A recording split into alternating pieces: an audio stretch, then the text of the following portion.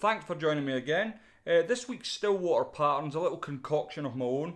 It's uh, very loosely based on a cruncher and in the vise you see a Hanak H200 barbless hook and it's at size 10. The thread we're going to be using today is the UTC and this is the 70 in black. First thing I'm going to do is add a little bit of wax to my thread just to give me a bit of purchase and I can cast that on a millimetre or so in behind the eye and I'll use the rat's tail just to help me get a of thread down. I want to come approximately to where the barb would be on the hook then I'll take away my spare thread and I'll just come another couple of turns. Now the tail of this fly I'm going to use just a, a cheap cock hackle feather and I've already taken a little bit off of this strand so I'm just going to use the same feather. Simply come in near the top because that's where the best colour is and take five or six strands, rip them away and then what I'll do is transfer them. Once I've got my fibres I've transferred them over to my right hand and I want it to be about two thirds of the length of the shank of the hook. So I'm going to lay that on, that looks okay. I'm going to catch it on with my left hand again and then just get a couple of wraps to hold that into place. I'm going to come all the way up um, because I want to maintain the same sort of width so that's why I've left the tail ends on. And then just at the end here, I'm going to tidy that up. Excuse the fingers.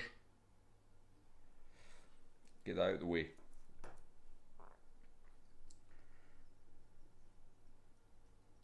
And then I can cover up my ends here. I'll bring it back down. I'm going to twist my thread anti-clockwise to open it out.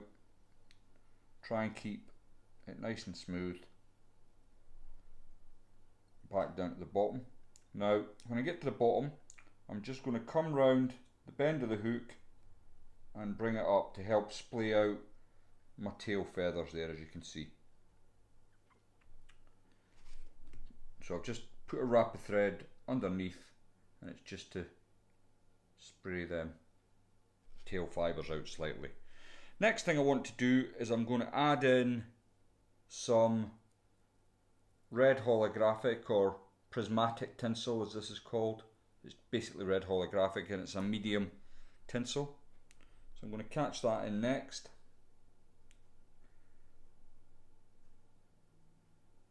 Just one or two turns just to hold it into place because there's a lot more going in here now.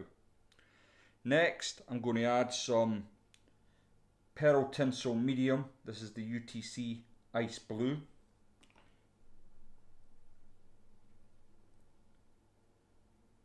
And I'm going to catch that in with just one or two turns just to hold it into place. What I'm trying to do is keep my bulk at this back end to a minimum. Uh, next thing I'm going to do is I'm going to add in a strip of peacock strip peacock quill. Uh, I'm using the hand selected troutline stuff and I've already selected a feather from the packet and the reason I use this, I mean, they're a little bit more expensive than buying it in bulk or stripping it yourself, but what you get is a really nice banding on the peacock herl, and that's that's what I want for this fly. So I'm going to also catch that in with one or two turns. Now that I've got all my ingredients tied in at the butt, I'm going to bring my thread all the way back up to the top here. And what I want to do is just flatten it out again. If it starts twisting up on you flatten it out. Uh, and want to build a small taper into the fly. So you'll notice I'm just spinning my bobbin to get that thread flattened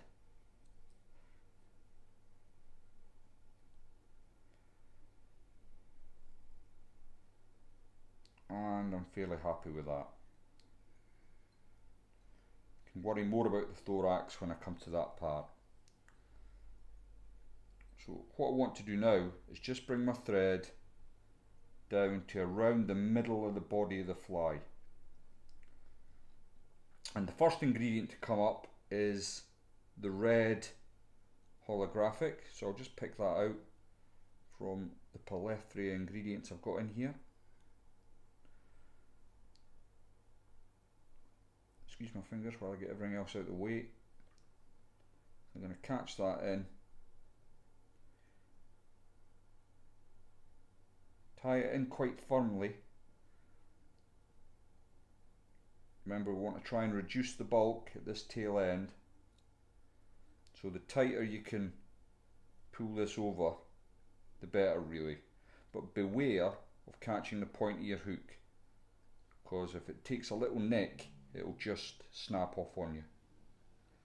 So I've caught that in to where I want to be and I've just got one wrap in, keeping the thread under tension. I can then put two or three wraps in just to hold that into place. Come in with my snips and remove the excess of the red holographic. Now, before I do anything else, I just want to tidy up this area here and of course while I'm doing that I can just increase my taper by putting a few more thread wraps in.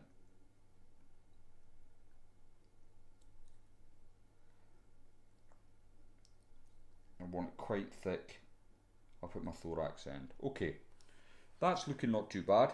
Now, a little tip, um, I'm going to be bringing the, peak, the strip peacock quill up next, and what I always like to do, just to help me with this, is add a little layer of super glue onto the, the body. Now this helps in several different ways, not least if your hackle pliers let you down, um, there's a good chance that the super glue will hold, hold your fibre in place. So I've taken hold off my strip peacock quill now and I've got a grip of that with my hackle pliers. Now you need to be quite careful at this point because you don't want to snip your peacock quill.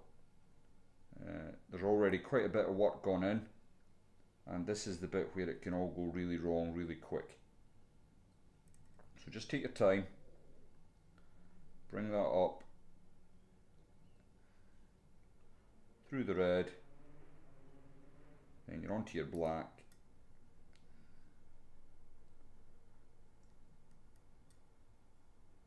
nice open turns, whoops, just dropped up there. And luckily survived it. All the way up to the thorax area.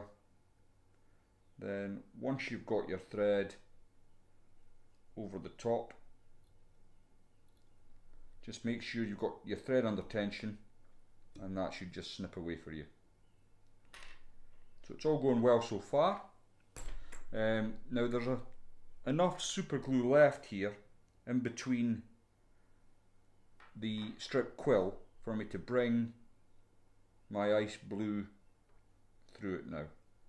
And this will the super glue will hold this in place if you choose not to use super glue you can of course once you've brought this ribbon over give it a very thin coat of UV resin and that will do the same job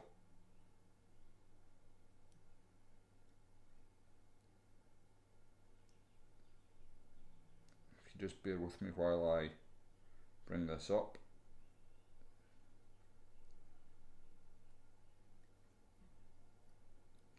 It gives a really nice effect, um, especially over black and red. I find when you bring this up as a secondary rib, you get you get um, a lovely effect with it. I'm not too worried. Some slipped off the thorax there, but I've got a bit of work to do there, so I'm not overly concerned with that bring that up out the way and I can just pluck that free.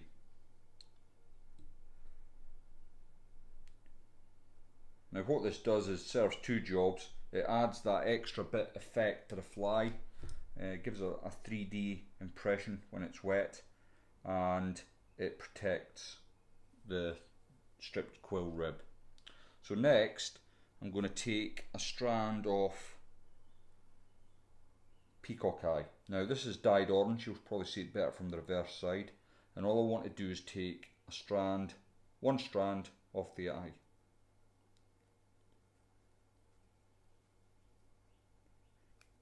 So. Now, what I want from this is the thick end. So I'll grab that and I'm going to tie that in at the thick end. I'm going to come back about 2 eighths of an inch from the eye of the hook and I've got it tied on my side and I'm going to lock that down with my thread bringing it all the way to the front. Again the the peacock eye is a fairly vulnerable material so I'm going to just give the thorax area a little tiny the tiniest coats of super glue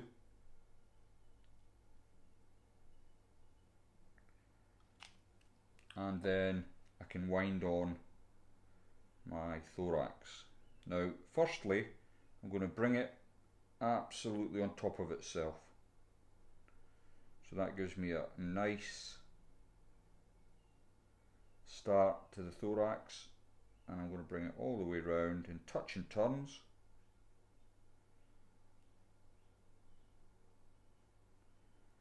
to the front of the hook.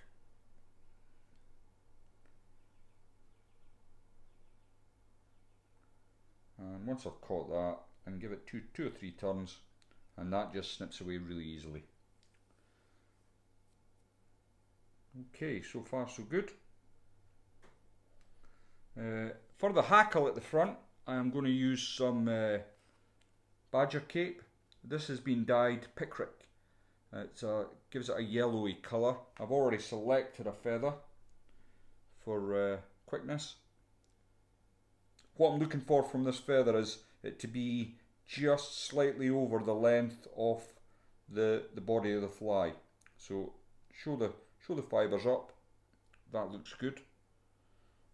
And I'm just going to trim it now. So I've got a little bit at the end to catch in.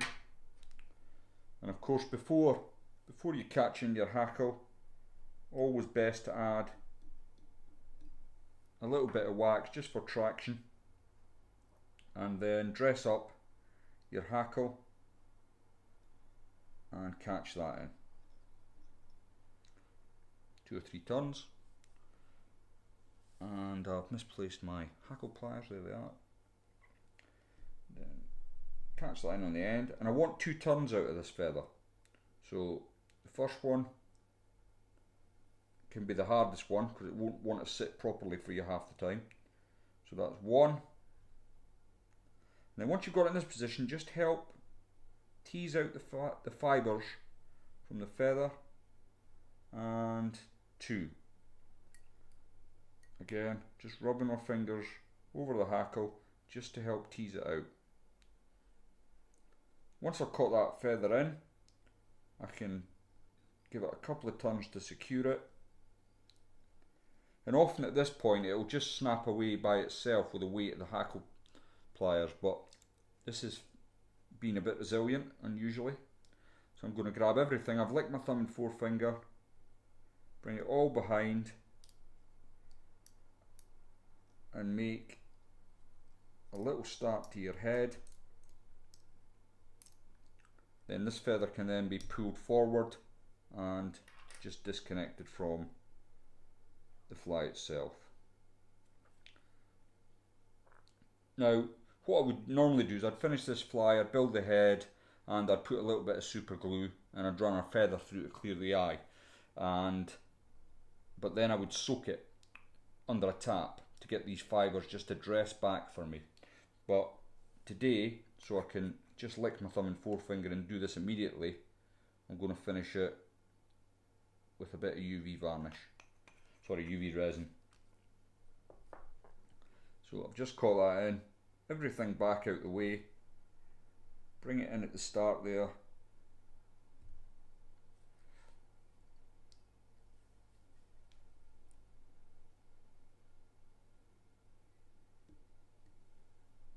A little half hitch and I can come in with my UV torch then just to cure off the head.